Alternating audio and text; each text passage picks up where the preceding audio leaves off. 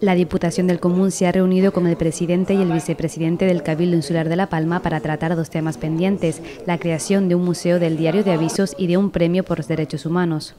La colaboración entre Cabildo y Diputación del Común para la ejecución de un museo del periódico más antiguo de Canarias, de Diario de Avisos, con la Fundación Diario de Avisos. Y el segundo asunto que hemos hablado es el de mm, la puesta en marcha de un premio por los derechos humanos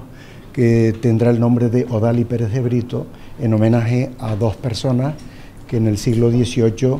eh, lograron que Santa Cruz de la Palma fuera el primer municipio en el que hubiera una elección popular para la elección, para la elección de, de los representantes municipales.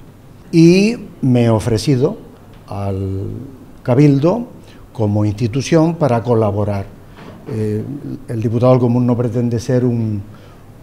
problema para las administraciones, pero sí queda claro eh, que vamos a ser el portavoz de muchas personas que tienen problemas con la administración y que somos eh, tajantes en la defensa de los derechos fundamentales de las personas. Muy agradecido por esta visita y también yo quiero aprovechar este momento para reconocer el trabajo que viene realizando esta casa, los funcionarios del Cabildo Insular, eh, para también ser una administración que responde en tiempo y forma al diputado del común, como también hoy nos ha hecho saber. Respecto al Museo del Diario de Avisos, que por supuesto con el impulso del diputado del común y, con eh, el, apoyo eh, que siempre tiene que estar del Cabildo Insular de La Palma, esperamos que pueda ser una realidad a la mayor brevedad posible y también, como ha comentado el señor diputado, pues este premio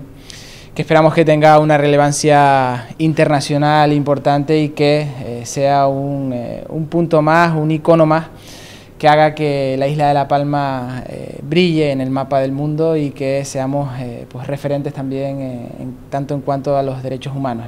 Esta misma tarde está programada otra reunión para empezar a dar forma al proyecto del Museo del Diario de Avisos.